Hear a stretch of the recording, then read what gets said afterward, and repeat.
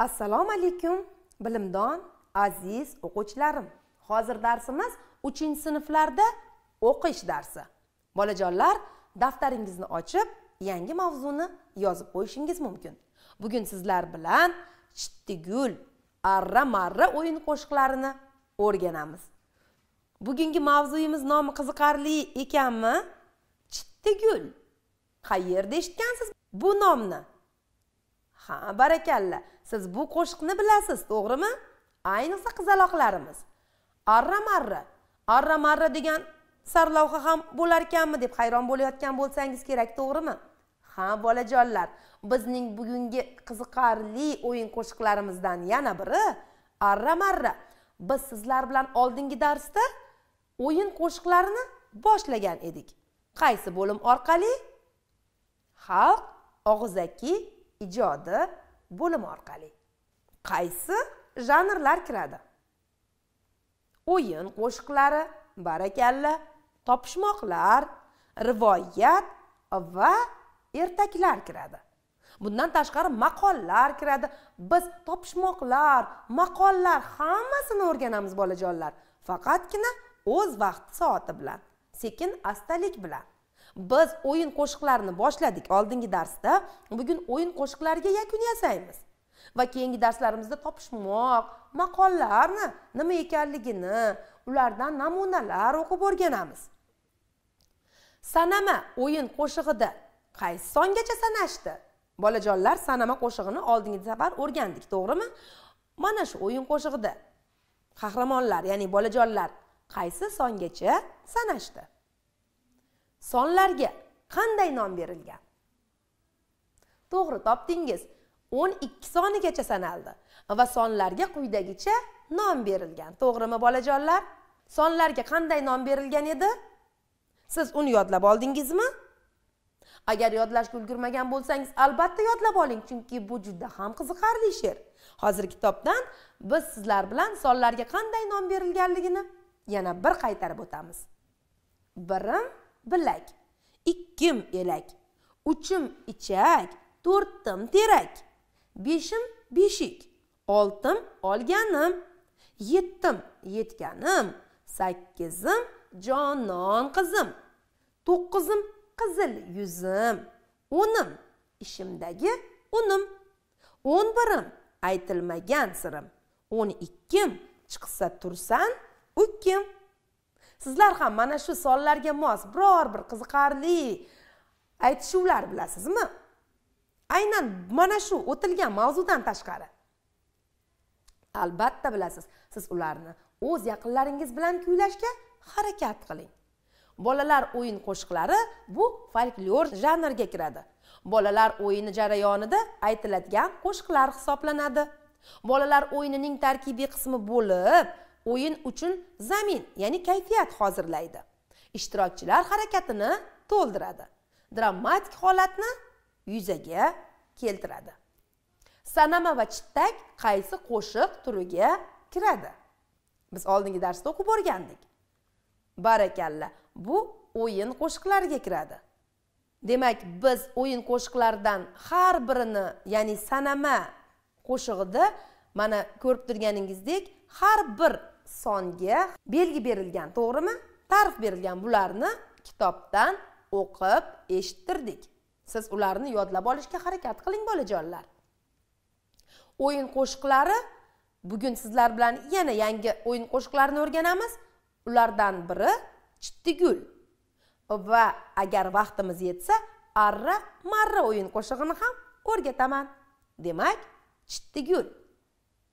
Chittigul buni siz oldin ham eshitgansiz. Ayniqsa qizlarimiz bu qo'shiqni juda ham yaxshi ko'rishadi. Qanday qo'shiq ekan deb hayron bo'lyapsizmi? Hozir men sizlarga ushbu qo'shiqni she'riy usulda o'qib beraman. Sizni o'qib o'qib ma'nosini tushunib olishingiz uchun. Ma'nosini tushunib olganingizdan so'ng albatta uni qo'shiq qilib hirgoya qilishingiz mumkin. Chittigule chittigul etagingga gul bosay. Hayu chittigul hayu tigul. Yodingizga tushdimi? Ushbu qo'shiq barakalla bu folklor janriga kiradi. Qo'ling qo'lbog'da bo'lsin. Beling belbog'da bo'lsin. Hayu chitti gul hayu gul tapir tupir ot keldi. Chiqib qarang kim keldi?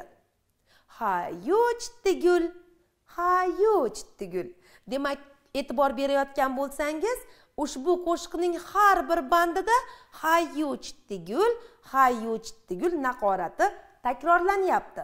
Bu ham qo'shiqning jozibadorligiga sabab. Chunki bolajonlarimiz ushbu qo'shiqqa qiziqishlari va uni tezroq o'zlashtirib olishlari ushbu qo'shiqni qiziqarliroq chiqishi uchun hayyu chittigul naqorati tez tez takrorlanyapti. Va bolalar tilida yozilganiga ham e'tibor bering. Arobada un keldi. Childirmada gul keldi. Hayu chitdi gul. Hayu chitdi gul. Gul yaxshiyu gul yaxshi. Gulning popugi yaxshi. Hayu chitdi gul. Hayu chitdi gul. O'rtada o'ynagan qizning haydar kokili yaxshi. Hayu chitdi gul. Hayu chitdi gul. Mana bolajonlar hayyu gul she'rini kitobdan o'qidik. Va siz uning ma'nosini albatta tushunib oldingiz. Bu yerda siz tushunmaydigan so'zning o'zi yo'q. Chunki har bir so'z bolalar tilida yozilgan. Chittigul qo'shig'ini ham o'rtoqlaringiz bilan birgalikda qo'shiq qilib hirgoya qilishni maslahat beraman. Bolajonlar keling arra marra qo'shig'ini ham tezroq o'qiy qolaylik. Men juda ham qiziqib ketyapman. Arra marra qo'shig'i qanday hirgoyi qilinadi? U qanday nima haqida yozilgan? Buni albatta o'qib ko'rmasdan ayta olmaymiz. Hozir sizlarga arra marra qo'shig'ini she'riy usulda o'qib beraman. Siz esa uni mag'zini chaqib olishga harakat qiling. Bu ham o'yin qo'shiqlariga kiradi. Arra marra tilla sandiq ochildi. Tagiga bodom sochildi. Demak tushundingiz a bolajonlar? Tilla sandiq ochildi tagiga bodom sochildi. Xalq og'zaki ijodi bo'lganligi uchun buni muallifi yo'q. Chunki buni muallifi xalqning o'zi. Xalq kuyi xalq she'ri xalq so'zi. Demak xalq degani bu odamlarning o'zlari.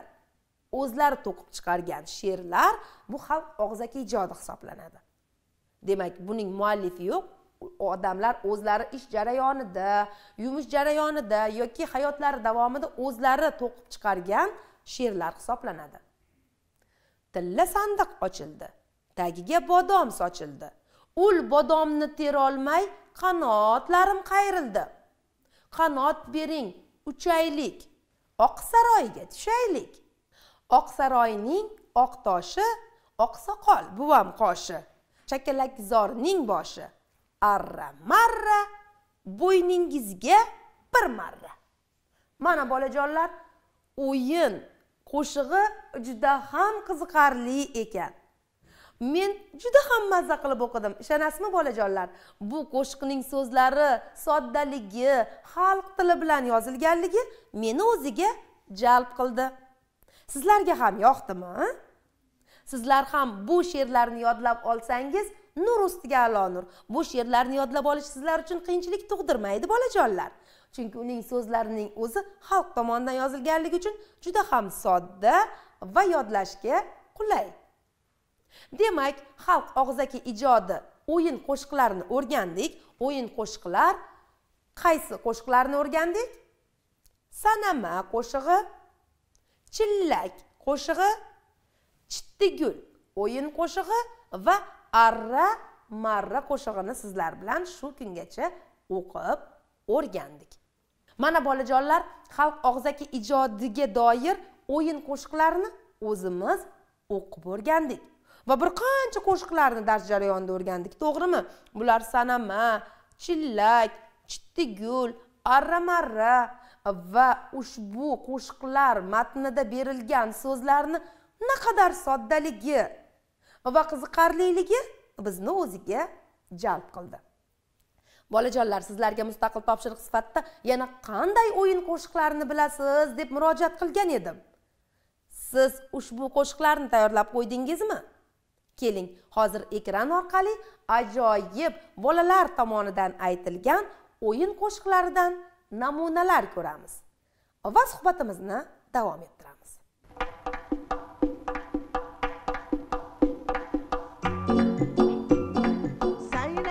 I'll be ne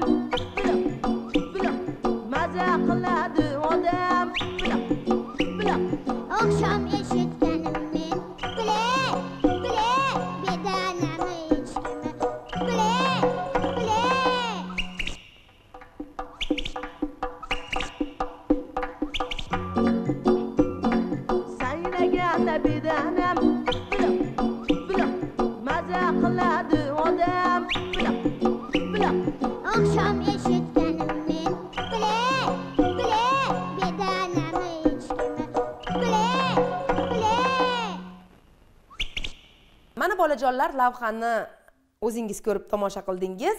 Ya'ni bolajonlar tili bilan aytilgan o'yin qo'shiqlarni o'zingiz eshitdingiz va yana siz o'zingizni xayolingizga albatta o'yin qo'shiqlaringiz keldi. Ha bolajonlar mana shu xayolingizga kelgan aynan qo'shiq o'yin qo'shiqlari hisoblanadi. Qarang bolajonlarni o'yin qo'shiqlarini qanchalik sodda til bilan qiziqib bir biri bilan kuylashyapti. Ha o'yin qo'shiqlari aynan tortishuvlardan iborat bo'ladi asosan. Ya'ni folklor janri ham aynan shunday. U bir kishi emas bir nechta ishtirokchilar bilan birga aytiladigan qo'shiq hisoblanadi. Demak mustaqil topshiriq sizlarga bugungi darsdan o'yin qo'shiqlarini ifodali o'qiysiz. Ya'ni qaysi? Bugungi o'rgangan arra marra va chittigul o'yin qo'shig'ini. Bundan tashqari siz ushbu qo'shiqlarni albatta yod oling. Bolajonlar chittigulni siz o'zingiz shundoq ham yoddan bilasiz to'g'rimi?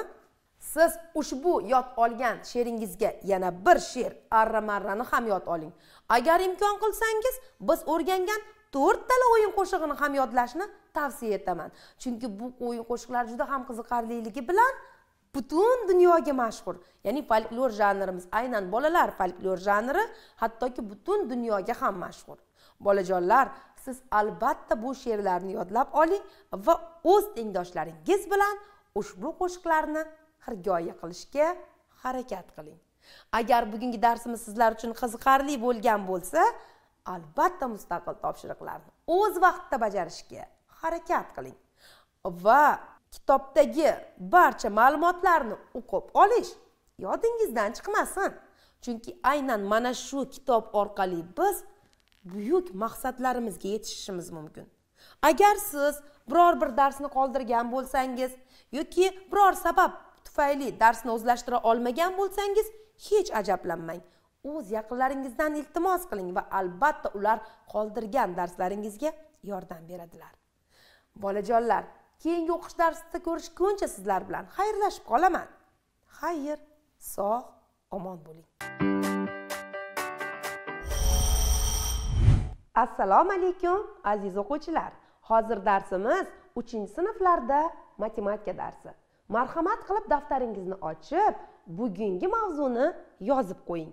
Yodingizda bo'lsa sizlar bilan matematika darsimizdan kasr tushunchasi haqida ma'lumotlar o'tgan edik va mana shu mavzu bo'yicha misollar ishlagan edik. Bugun sizlar bilan matematika darsidan kasr tushunchasini mustahkamlashga doir bir yuz yigirma sakkizinchi bir yuz yigirma to'qqizinchi betlarda berilgan topshiriqlarni birgalikda bajaramiz. Tayyor bo'lsangiz boshladik. Bilasizmi bolajonlar mustahkamlashga doir misol va masalalarni yechishdan avval oldingi darsda berilgan mustaqil topshiriqni nazorat qilib olsangiz chunki siz bu mustaqil topshiriqlarni qay darajada to'g'ri yoki noto'g'ri ishlaganligingizni bilishingiz kerak albatta. Demak bir yuz yigirma sakkizinchi betdagi oltinchi yettinchi misollar sizga mustaqil topshiriq sifatida berilgan edi. Oltinchi misoldan boshlaymiz. Mahraji oltiga teng surati turlicha bo'lgan to'rtta kasr son yozing. Demak birinchi kasr sonimiz oltidan bir oltidan ikki. Oltidan to'rt oltidan besh. Bolajonlar bu kasr sonlarni surati olti bo'lgunga qadar davom ettirishimiz mumkin. Lekin masala shartida to'rtta kasr son yozilishi so'ralgan. Shuning uchun biz faqatgina to'rtta kasr son yozib qo'yamiz. Bsda ana endi surati haqida gap bormoqda. Surati uchga teng. Mahraji turlicha bo'lgan to'rtta kasr son yozing. Bolajonlar surati uchga teng mahraji turlicha bo'lgan bir qancha kasr sonlarni cheksiz ravishda keltirishimiz mumkin. Lekin to'rtta so'ralganligi uchun biz to'rtdan uch beshdan uch yettidan uch va sakkizdan uch kasr sonlarini yozdik.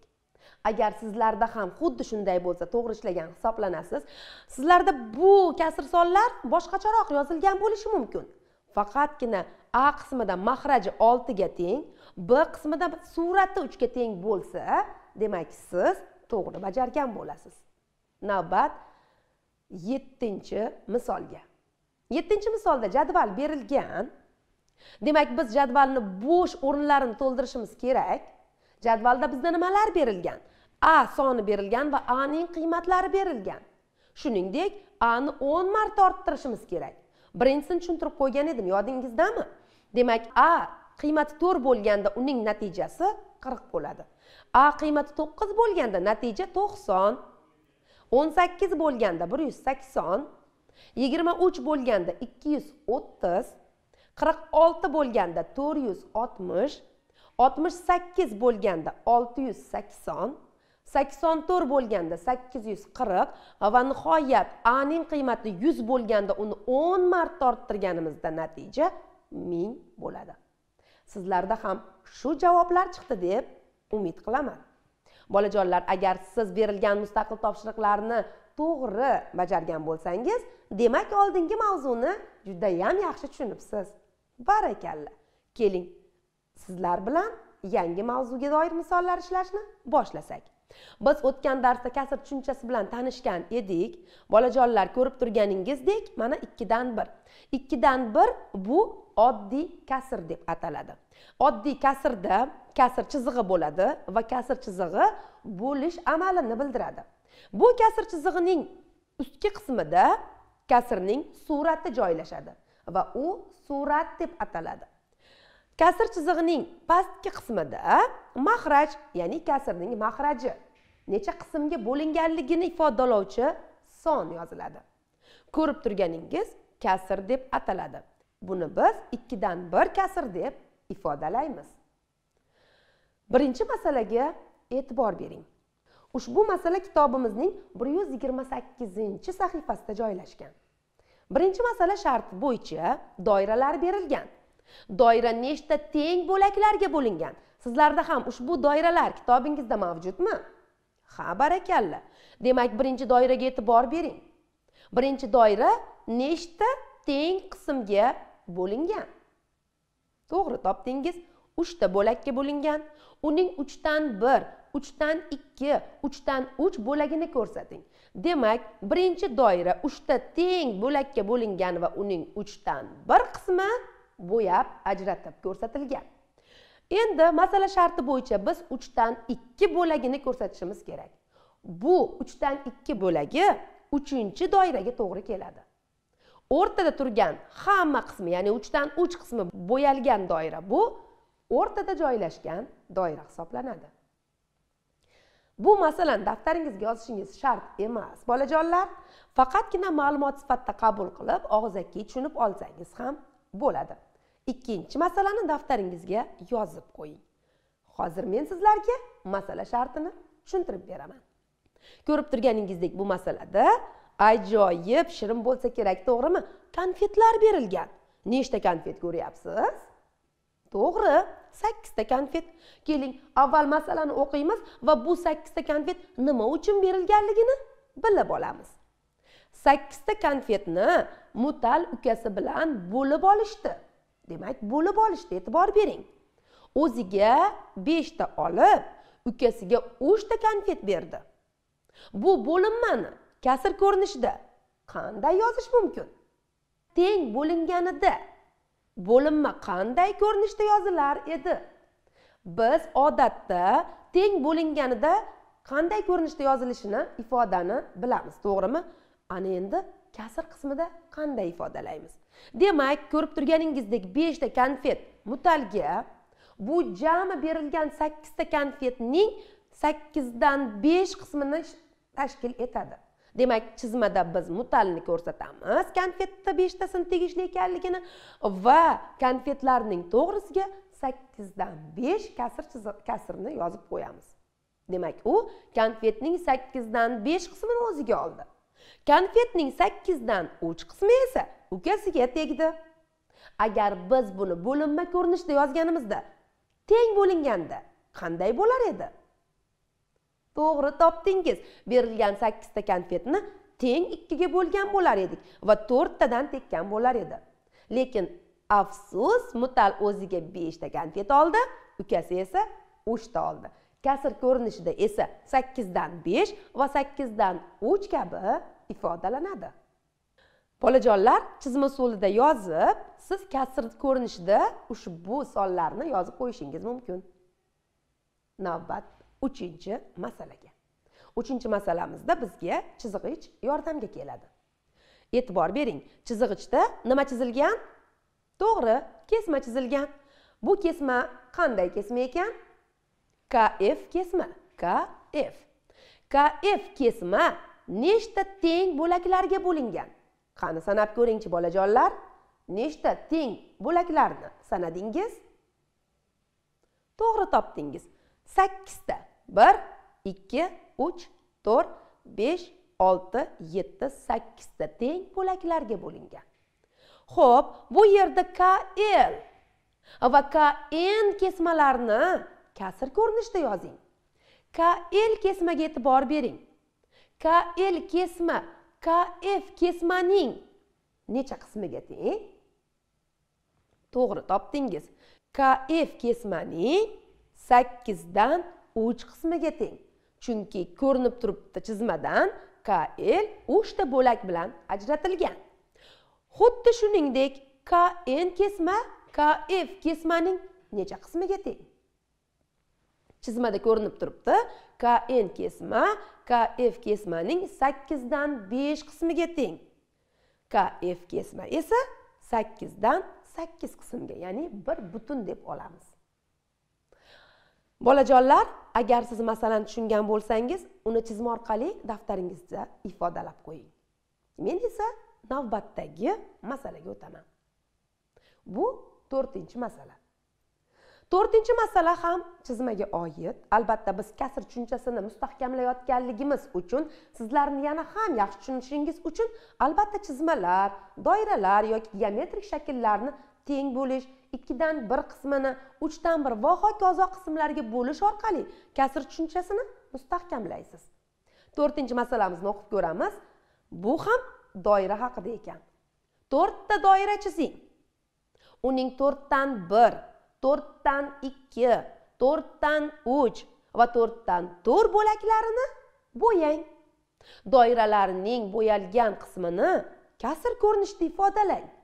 Keling birinchi doirani chizamiz. Demak birinchi doira to'rtdan bir qismini bo'yashimiz kerak. Demak teng to'rt qismga bo'lamiz va uning bir qismini ajratib qo'yamiz. Va to'rtdan bir qismi bo'yalgan ekanligini ham ifodalab yozib qo'yamiz. Tushundingizmi? Qolgan doiralarni o'zingiz mustaqil ravishda bajara olasizmi? Barakalla keling sekin astalik bilan ikkinchi doiraga o'tamiz. Demak ikkinchi doirani teng to'rt qismga bo'lib uning to'rtdan ikki qismini bo'yab qo'yishimiz kerak. Mana teng to'rt qismga bo'ldik va uning to'rtdan ikki qismini bo'yab qo'ydik. Va albatta kasr ko'rinishida bu to'rtdan ikki ko'rinishida ifodalanadi. Uchinchi doirani esa to'rtdan uch qismini bo'yashimiz kerak. Albatta bu doirani ham teng to'rt qismga bo'lamiz va uning uch qismini bo'yaymiz. Kasr ko'rinishda qanday ifodalanadi? To'g'ri topdingiz to'rtdan uch. Va nihoyat oxirgi ya'ni to'rtinchi doiramizni biz teng to'rt qismga bo'lamiz va to'rtdan to'rt bo'lagini bo'yab ko'rsatib qo'yamiz. Bolajonlar mavzular sizlarga tushunarli bo'lyaptimi? Berilgan topshiriqlar murakkab emasmi? Barakalla qiziqarli qiziqarli bilan birgalikda tushunarli mavzu to'g'rimi?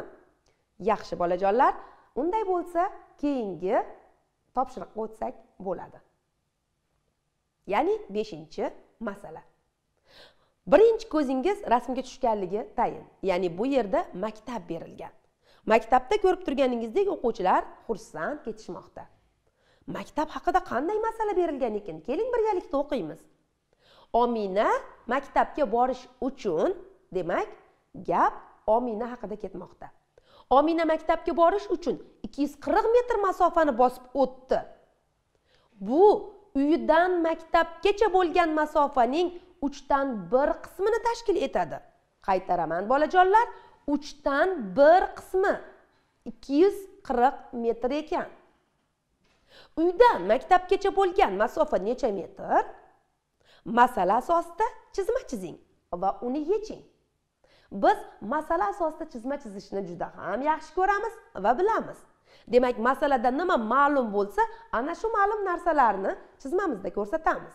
Demak bizga ominaxon va uni maktabga boradigan yo'li ma'lum. Mana omina mana uning uyi mana maktab. Albatta siz chizmalarni aynan ekrandagidek chizishingiz shart emas bolajonlar. O'zingiz xohlagancha uy va o'zingiz xohlagancha maktab. Maktabni albatta o'zingiz qanday tasavvur qilsangiz shunday ifodalashingiz mumkin. Demak uydan maktabgacha bo'lgan masofa umumiy uzunligi bizga noma'lum. Biz aynan uydan maktabgacha bo'lgan masofa necha metr ekanligini topishimiz kerak. Bizga nima ma'lum? Bizga omina uydan maktabgacha bo'lgan 240 metr masofani bosib o'tganligi va mana shu 240 metr masofa jami yo'lning uchdan bir qismi ekanligi ma'lum. Mana shu ma'lumotlarga asoslanib biz umumiy yo'l uzunligini topib olishimiz mumkin. Demak uchdan bir qismi 240 metr bo'lsa uchdan uch qismi necha metr bo'ladi? Biz buni bilish uchun qanday amalni bajaramiz? To'g'ri topdingiz. Berilgan 240 metr masofani teng uchga bo'linganligi uchun uchga ko'paytiramiz. Chunki uchdan bir qismi 240 metr. Bu 720 metr ekanligi kelib chiqadi. Va masalamizga nima yozamiz bolajonlar? To'g'ri topdingiz. Javob yozamiz. Javob uydan maktabgacha bo'lgan masofa 720 metr. Qiziqarli masala to'g'rimi? Bolajonlar sizni uyingizdan maktabgacha masofa necha metr? Buni hech hisoblab ko'rganmisiz? Qadamlab ko'rgan bo'lsangiz kerak to'g'rimi? Agar hali bu ishni amalga oshirmagan bo'lsangiz uydan maktabingiz yaqinroq bo'lsa uydan maktabgacha necha qadam ekanligini hisoblab topsangiz ham bo'ladi. Shunda necha qadam yoki necha metr ekanligini bilib olasiz. Navbat! Mustaqil topshiriqqa. Bolajonlar biz sizlar bilan kasr tushunchasini mustahkamladik va mustahkamlash borasida kitobimizdagi birinchi misoldan boshlab beshinchi masalagacha o'zimiz birgalikda ishladik. Va mana shu olgan bilimlaringiz asosida albatta sizlarga mustaqil topshiriq bermoqchiman. Bu kitobimizda berilgan bir yuz yigirma to'qqizinchi betdagi oltinchi yettinchi masalalar. Oltinchi masalada uchdan ikki beshdan bir oltidan to'rt sakkizdan besh o'ndan uch o'n ikkidan to'qqiz kabi kasrlarni kasr ko'rinishida yozishimiz kerak ekan. Bu murakkab emas lekin baribir birinchisini tushuntirib qo'yaman. Uchdan ikki. Bolajonlar uchdan ikki. Mana shu uchdan so'zi biz kasr ko'rinishida ifodalasak surat qismiga yoziladimi uch yoki mahraj qismigami? To'g'ri topdingiz. Mahrajga yoziladi ya'ni uchdan ikki. Biz mahraj qismidagi songa dan qo'shimchasini qo'shish orqali suratini o'qiymiz. Uchdan ikki. Siz qolgan kasrlarni ya'ni berilgan so'zlarni kasr ko'rinishida ifodalaysiz. Yettinchi masala. Yettinchi masala ko'rib turganingizdek chiroyli atirgullar haqida ekan. Issiqxonadan bir yuz sakson beshta atirgul uzildi. Nechta? bir yuz sakson beshta. Bu buyurtmaning chorak qismini tashkil etadi. Bolajonlar chorak qismi bu. Necha qism edi? Kasr ko'rinishida ifodalasak qanday bo'lar edi? To'g'ri topdingiz. Chorak qismi bu to'rtdan bir qism. Kasr ko'rinishida to'rtdan bir kabi ifodalanadi. Buyurtma bo'yicha nechta atirgul uzilishi kerak? Demak chorak qismi ya'ni to'rtdan bir qismi bir yuz sakson besh bo'lgan sonni butun qismini topishingiz kifoya. Masalaga ham tushundingiz deb o'ylayman. Bolajonlar berilgan mustaqil topshiriq sizlarga tushunarli bo'lgan bo'lsa keyingi matematika darsida sizlar bilan ko'rishguncha xayrlashib qolaman. Xayr sog' omon bo'ling. Hello and welcome to the Kids English third grade. How are you today? Are you okay? I hope so. Everything is fine. Great. Let's start our lesson. sun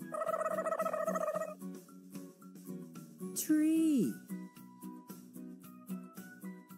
rabbit I like rabbits. mountain river. Rainbow. It's colorful. fox. Flower. Moon. Star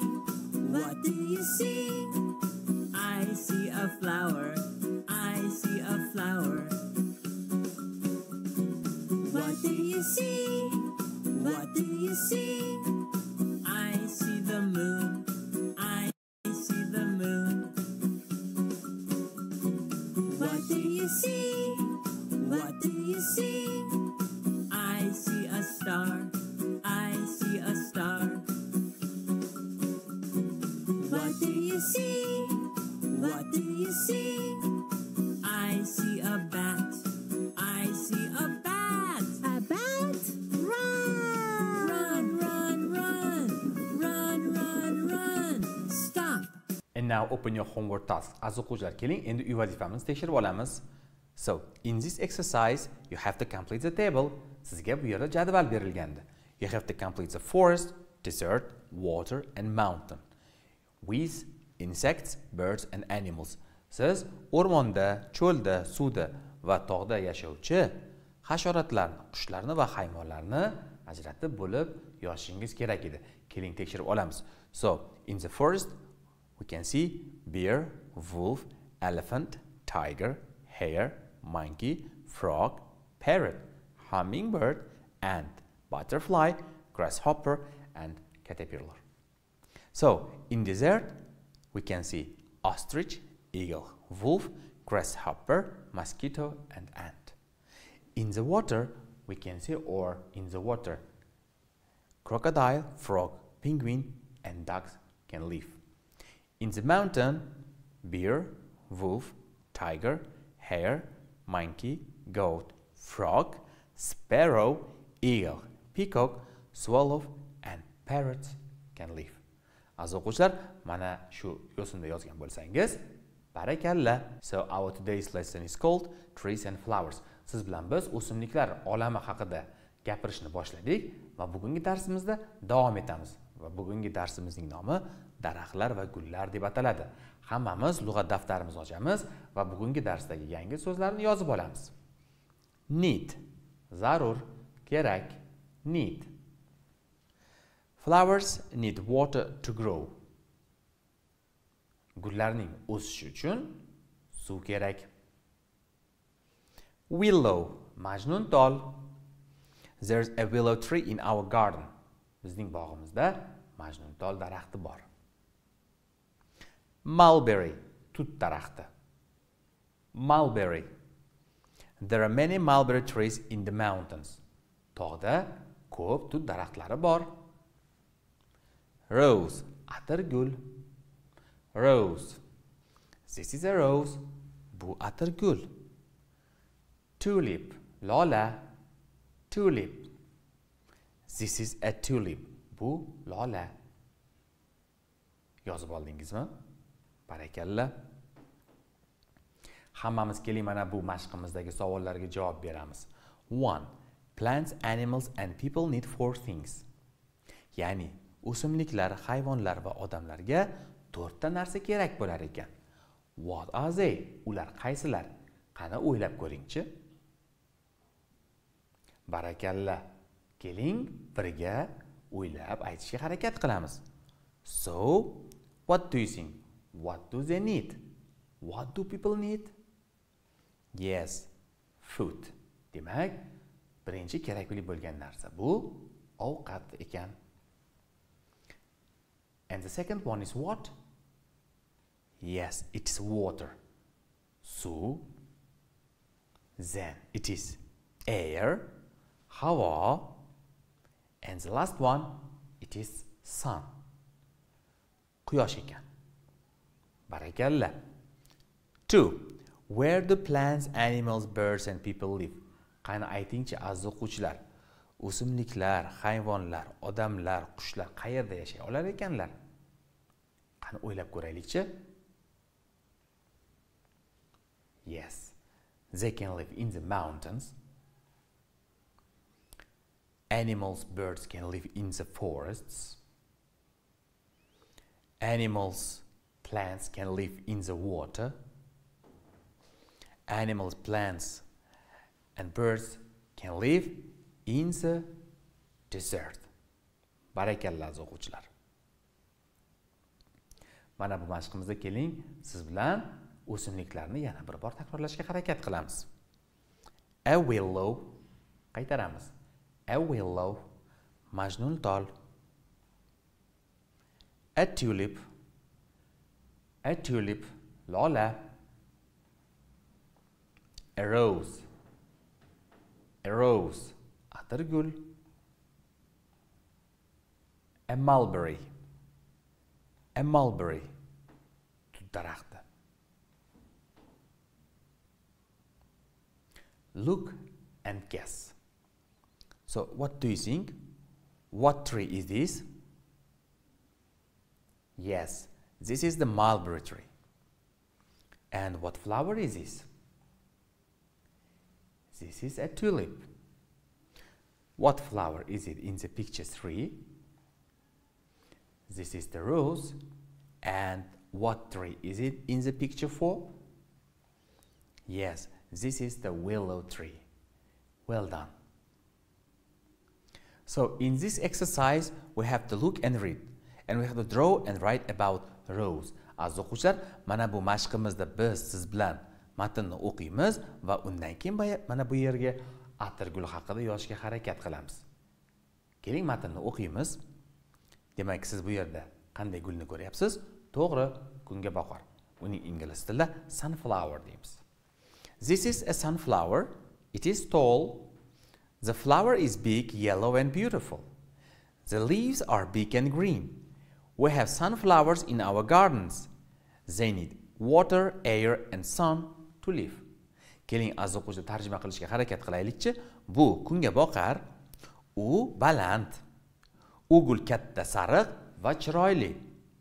Barglari uning katta va yashil. E'tibor beramiz leaves so'ziga. Leaves aziz o'quvchilar barglar degani. Kungaboqarlar bizning bog'imizda bor. Ularga suv havo va quyosh o'sishlari uchun kerak bo'ladi. Demak aziz o'quvchilar e'tibor beramiz leaves need. Leaves barglar need kerak bo'ladi. Keling endi siz bilan biz atirgul haqida yozishga harakat qilamiz. This is a rose. It is small and big. We have roses in our gardens. They need air sun and water to live. Aziz o'quvchilar agar mana shu yo'sinni yozgan bo'lsangiz barakalla va albatta siz atirgul haqida o'zingizni fikringizni boshqacha yozishingiz ham mumkin bo'ladi. Yozib oldingizmi? Juda ham yaxshi. And now open your homework tasks. Hammamiz uy vazifamizni ochamiz. At home you have to read complete and color the picture. Demak siz uyda mana bu gul haqida ya'ni qaysi gul ekan tulip to'g'ri lola haqida yozib kelishingiz kerak va tushib qolgan joyga leaves need flower kabi so'zlarni qo'yishingiz kerak bo'ladi and this is the end of our lesson and see you next time bye Hallo, liebe Schüler und Schülerinnen. Wie geht's euch? Hoffentlich Sie sind gesund. Ist alles in Ordnung? Ich bin froh, Sie wiederzusehen. Assalomu alaykum. Ekran qarshisidagi bir-biridan zukko o'quvchilar. Sizlar bilan yana nemis tili darsida ko'rishib turganimdan bag'oyatda xursandman. Kayfiyatlaringiz qalay? A'lo darajadami? Wenn Sie fertig sind, beginnen wir heutige Stunde. Agar javobingiz ha bo'lsa, bugungi darsimizni boshlaymiz. Aziz o'quvchilar, wir beginnen unsere Deutschstunde für dritte Klasse. Das Thema der Stunde heißt Die Reise durch die Stadt. Bugun sizlar bilan shahar bo'ylab sayohat mavzusida suhbatlashamiz. Wir haben immer einen Plan. Der Plan besteht aus folgenden Punkten. Zuerst lernen wir die Wörter. Dann lesen wir den Dialog. Machen wir interessante Übungen. Am Ende bekommen Sie die Aufgabe für selbstständige Arbeit. Sind Sie fertig? Dann los. Tayyor bo'lsangiz, boshlaymiz. Übung 1a. Schaut euch die Bilder an durch und merkt euch. Aziz o'quvchilar, rasmga e'tibor qiling va eslab qoling. Bu yerda nimalarni ko'ryapmiz? Auf dem Bild sehen wir die Stadt. Aziz o'quvchilar, rasmda biz shaharni ko'rishimiz mumkin. Shaharda nimalar bor ekan? Der Zoo, hayvonot bog'i, der Zoo. Der Zirkus, Zirk, der Zirkus. Das Puppentheater, qo'g'irchoq teatri. Aziz o'quvchilar, kelinglar, keyingi mashqni bajarib ko'ramiz. Jetzt machen wir Übung 1b. Hört zu und sprich nach. Eshitting va takrorlang. Einzahl und Mehrzahl. Der Zoo. Birlik shakli, hayvonot bog'i. Die Zoos. Hayvonot bog'lari.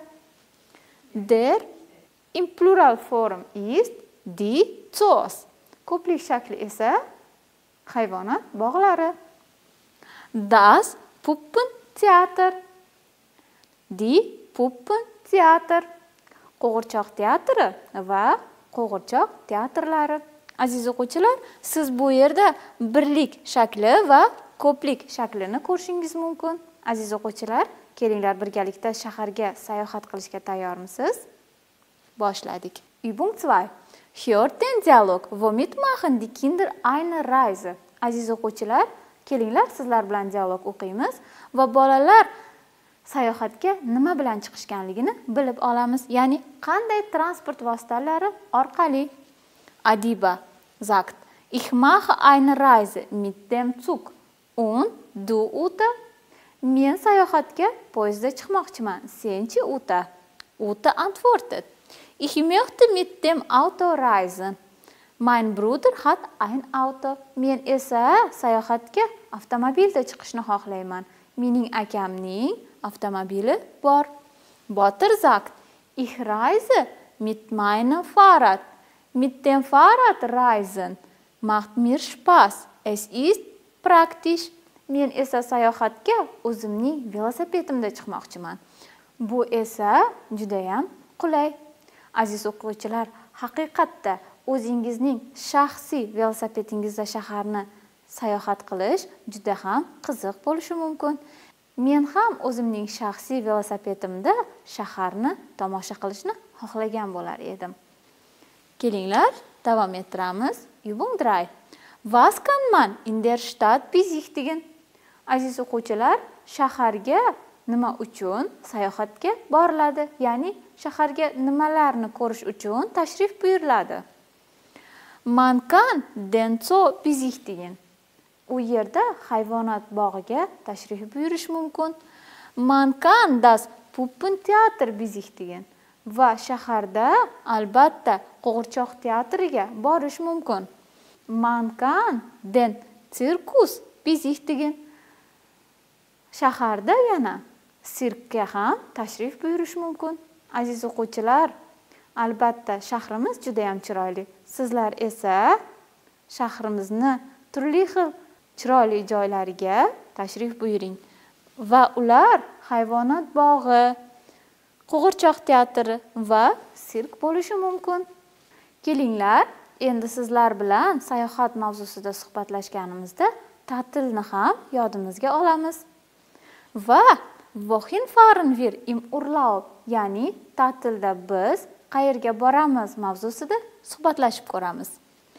An einen see dengiz ya'ni ich fahre im urlaub an einen see men ta'tilda sayohatga dengizga boraman.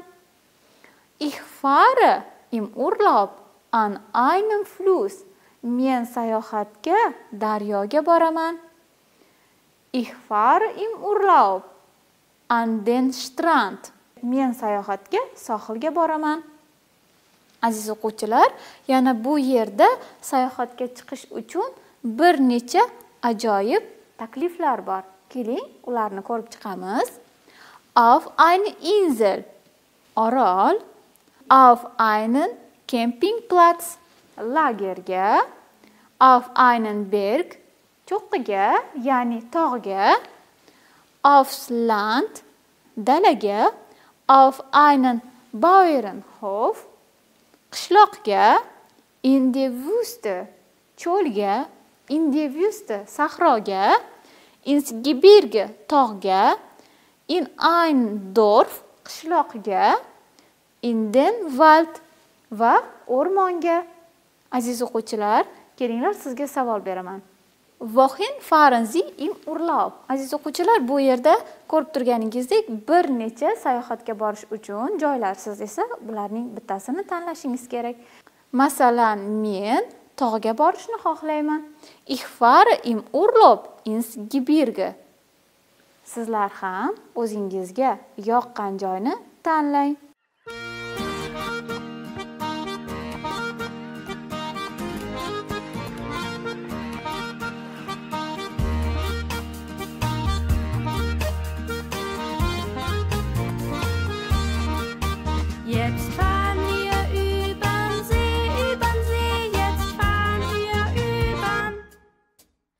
Jetzt fahren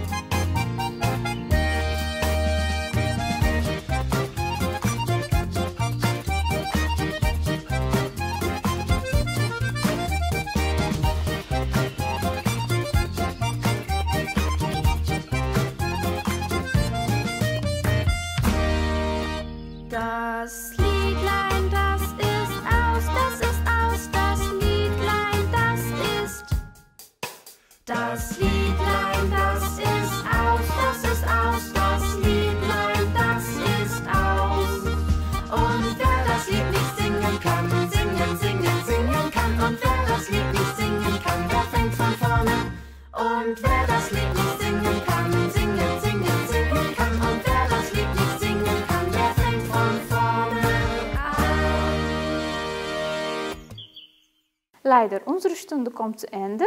Das war alles für heute. Ist alles klar? Jetzt gebe ich die Hausaufgabe für euch. Aziz o'quvchilar, topshiriqqa e'tibor qiling. Übung 4. Singt mit. Birgalikda kuylang.